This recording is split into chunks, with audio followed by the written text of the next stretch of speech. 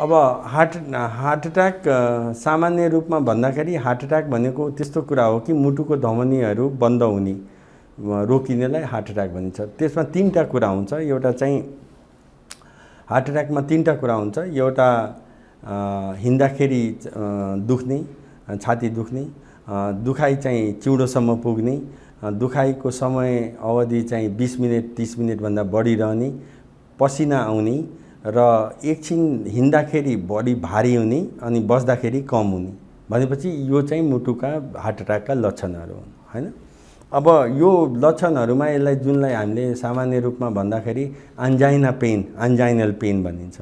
अन्जाइना जस्तै धेरैले सोध्छन् सर्वसाधारणले होइन यो मुटु हो कि पेटको रोग हो भन्दाखेरि हामीले के बुझ्नु पऱ्यो भने पेटको रोग भयो भने पेटको ग्यास्ट्रिक छ जुन चाहिँ हामी सामान्य रूपमा ग्यास्ट्रिक भन्छौँ। ग्यास्ट्रिक रो रोगमा हिँड्दाखेरि बस्दाखेरि उड्दाखेरि दौडिँदाखेरि दुखाइ जस्ताको त्यस्तै रहन्छ। तर मुटुको समस्या हार्ट एट्याक हुन लागेको एन्जाइना पे पेन भनेको हिँड्दाखेरि कुनै काम गर्दाखेरि अथवा चाहिँ दौड्दाखेरि अथवा भर्याङ चढ्दाखेरि त्यो चाहिँ दुखाइ बढ्ने भएपछि त्यसलाई हार्टको पेन भनिन्छ र पेटको पेन भनेपछि त्यसको चाहिँ स्वरूप चाहिँ जस्ताको त्यस्तै रहन्छ। त्यसलाई चाहिँ पेटको पेन भनिन्छ पहिला त यो सर्वसाधारणले बुझ्नु पऱ्यो अर्को कुरा हार्ट एट्याक मलाई हार्ट एट्याक भयो एन्जाइना भयो मुटुको दुखाइ हो भनेपछि त्यो दुखाइ कम्तीमा पनि च्यासचुस दुई सेकेन्डको र एक सेकेन्डको दुखाइलाई चाहिँ हामीले हार्ट एट्याक भन्न मिल्दैन। त्यसलाई के हुनुपर्छ एन्जाइना पेन भनेको कम्तीमा पनि बिस मिनटभन्दा बढी हुनैपर्छ त्यो दुखाइ छातीनिर। त्यो दुखाइ चाहिँ कि चिउँडोमा सर्ने या बायाँ हाततिर जाने दुई। तेस्रोमा त्यसको चाहिँ पसिना आउने।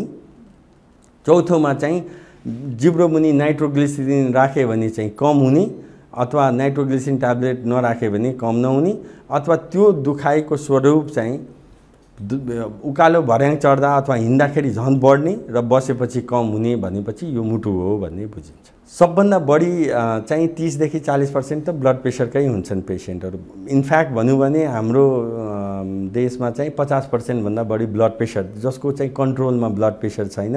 ब्लड प्रेसर कन्ट्रोलमा नभएका बिरामीहरूको हार्ट एट्याक हुने सम्भावना सबभन्दा बढी हुन्छ। नम्बर एक त त्यो भयो दुई दोस्रोमा डायबिटिज भने मधुमेहको रोग दुई। तेस्रो तेस्रोमा चाहिँ कोलेस्ट्रोल कोलेस्ट्रोल भन्नाले त्यो तरल पदार्थ शरीरमा बढी भएको एलडिएल कोलेस्ट्रोल हुन्छ त्यो चाहिँ बढी भएको। चौथोमा स्मोकिङ र पाँचौँमा जिन जेनेटिक फ्याक्टर भनेको जसको आमा बुवाको हार्ट एट्याक पचपन्न वर्षभन्दा पहिला भएको छ बुवाको हार्ट एट्याक पचपन्न आमाको साठी वर्षभन्दा पहिला भएको छ भने यिनीहरू त यो त major risk factor for heart attack minor risk factor हुन्छ। माइनर रिस्क फ्याक्टर भन्दाखेरि माइनर रिस्क फ्याक्टरमा जस्तै स्ट्रेस बढी लिने मुड शरीरको तौल चाहिँ एकदम बढी भएको बिरामीहरू हुन्छन्।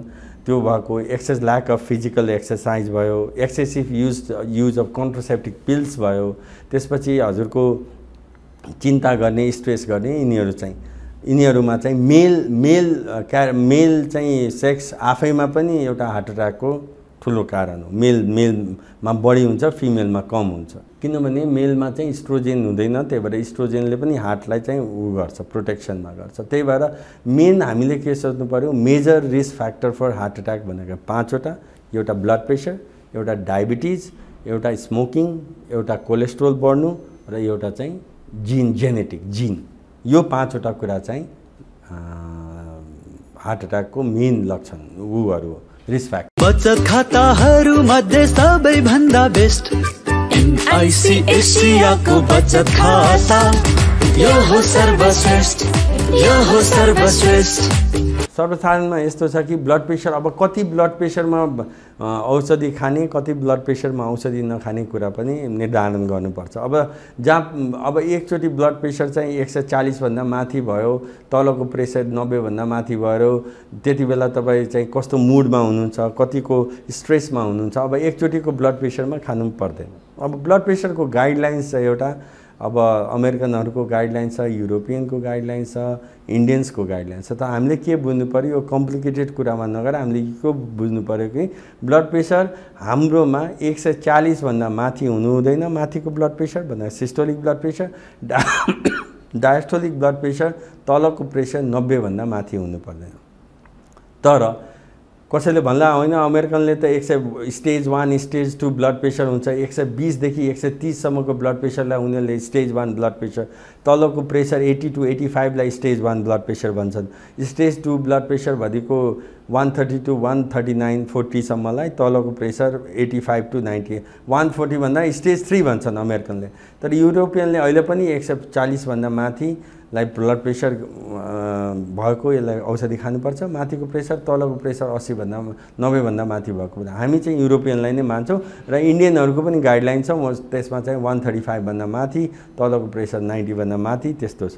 अब किडनी पेसेन्टहरूमा पनि ब्लड प्रेसरको गाइडलाइन छ तर मोटामोटी सर्वसाधारणलाई बुझ्दाखेरि मासमा हामीले के बुझ्नु पऱ्यो भने एक सय चालिसभन्दा बढी माथि प्रेसर छ तलको प्रेसर नब्बेभन्दा माथि छ भने हामीले सबभन्दा पहिला रिस्क फ्याक्टर घटाउनु पऱ्यो रिस्कमा भन्दाखेरि पहिलो चाहिँ नुनको मात्रा कम गर्नु पऱ्यो छ ग्रामभन्दा नुन कम खानु पऱ्यो सिक्स ग्रामभन्दा नुन बढी खानु भएन एउटा नुन नुन हो एउटा आफ्नो वेट हो वेटलाई घटाउनु पऱ्यो बिएमआई हाम्रो चाहिँ कम कम राख्नु पऱ्यो र हिप वेस्ट रेसियो भन्ने हुन्छ त्यसलाई कम भन्नाले हामीले वेटलाई कम गर्नु पऱ्यो तनावलाई भन्नाले स्ट्रेसलाई कम गर्नु पऱ्यो चौथोमा चाहिँ कन्ट्रासेप्टिक पिल्सहरू चाहिँ धेरै युज गर्नु भएन स्मोकिङ हामीले गर्नु भएन यी कुराहरूले गर्दाखेरि हामीले ब्लड प्रेसरलाई बढाउने कुराहरूलाई पहिला यो अफेन्डिङ जुन हामीले गर्न सक्ने त्यो भयो। अब यो गरेर अनि दिनदिनै फिजिकल एक्सर्साइज गर्नु पऱ्यो at least five days a week चाहिँ हामीले व्यायाम गर्नु पऱ्यो त्यसमा म brisk morning walk more than thirty minutes five days a week त्यति गरे पनि हामीले पुग्छ। त्यो गरेर त्यो गरेर पनि प्रेसर चाहिँ कम भएन। एक सय चालिसभन्दा माथि र नब्बेभन्दा माथि भयो भने हामीले मात्रै औषधि चाहिँ सुरु गर्नुपर्छ। तर कुनै मान्छेलाई एक सय साठी छ एक सय सत्तरी छ एक सय नब्बे छ भनेपछि हामीले यो त पछि गर्दै गर्छौँ। लाइफस्टाइल मोडिफिकेसन इज सेकेन्ड्री त्यो पछि गर्दै गर्छौँ। त्यो हामीले पछि गर्छौँ। तर औषधि चाहिँ पहिला खानुपर्छ। यस्तो होइन कि एक सय दुई सय पुगिसक्यो अनि म त नुन खाएको छैन। मैले त वेट घटाएको छु। म त जिममा गइरहेको छु डाक्टर साहब। मैले त ट्रे स्ट्रेस घटाइसक्यो। त्यसो हुँदैन। मैले यो कुरा भनेको एक सय चालिसभन्दा माथि छ नब्बेभन्दा माथि छ।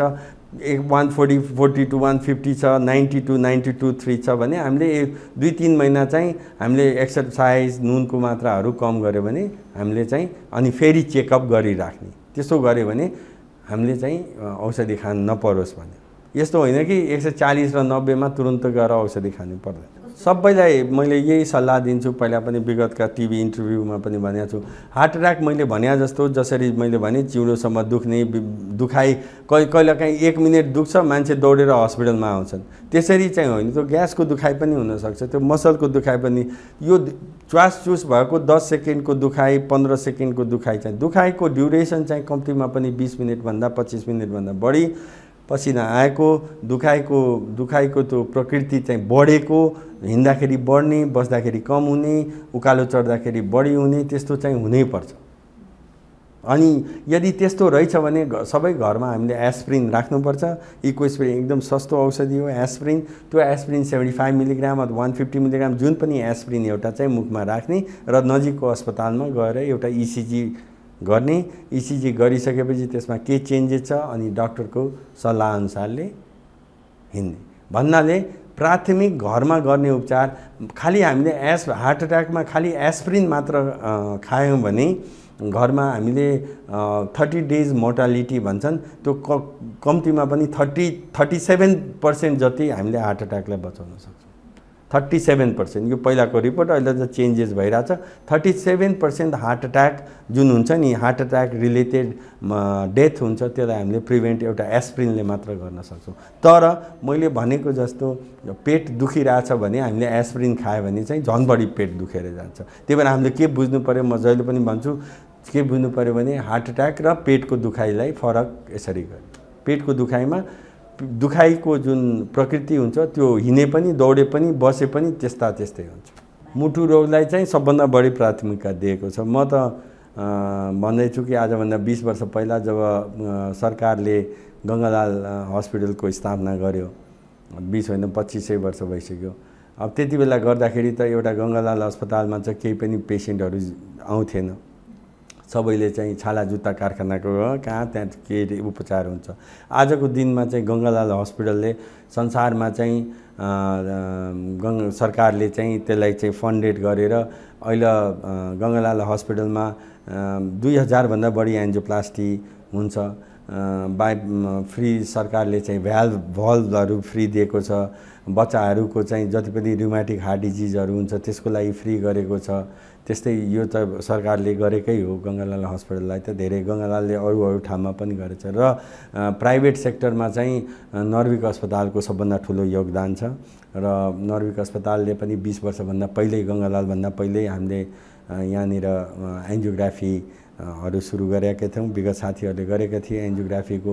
र एउटा कन्सेप्ट यो पुरै देशमा एउटा चाहिँ हार्टप्रति मुटुप्रति जागरुकता ल लाउने हस्पिटल भनेपछि मलाई फ्रेङ्कली भन्दाखेरि त अब बायसनेस नहो भने प्राइभेट सेक्टरमा नर्विक अस्पताल र सरकारी क्षेत्रमा चाहिँ गङ्गालाल हस्पिटलको ठु ठुलो योगदान छ। यसले गर्दाखेरि आजभन्दा पहिला बिस वर्ष पहिला सबै बिरामीहरू दिल्ली बम्बई र मुल थाइल्यान्ड जाने गर्थे। अब मलाई लाग्छ कि नाइन्टी पर्सेन्ट पेसेन्टहरू नाइन्टी पर्सेन्ट मुटुका बिरामीहरू चाहिँ हाम्रो नेपालमै उपचार भइरहेको छ र हाम्रो नेपालमा चाहिँ त्यो उपचारले गर्दाखेरि देशको धेरै पैसा चाहिँ विदेशमा गएको छैन। नाइन्टी पर्सेन्ट पैसा रोकिएको छ। त्यो त हामीले सरकारलाई पनि र प्राइभेट सेक्टरमा हाम्रो अस्पतालहरूलाई पनि धन्यवाद दिनुपर्छ। हार्ट एट्याकलाई हार्ट एट्याक सम्बन्धी अब म यही भन्छु जे पनि गरौँ रेस्पोन्सिबिलिटी लिएर गरौँ स्मोकिङ गर्नुहुन्छ भने स्मोकिङ नगर्नुहोस् ड्रिङ्क धेरै नगर्नुहोस् वेटलाई घटाउनुहोस् स्ट्रेसमा बढी नबस्नुहोस् हार्ट एट्याक यसले चाहिँ हामीले धेरै हार्ट एट्याकलाई प्रिभेन्ट गर्न सक्छौँ घर घरमा एउटा एस्प्रिन चाहिँ राख्नु पऱ्यो एउटा पोकोमा एउटा एस्प्रिन पच्चिस तिस पैसाको ट्याब्लेट छ त्यो रा मात्र राख्यो भने हामीले धेरै हार्ट एट्याकलाई बचाउन सक्छौँ। Thank you.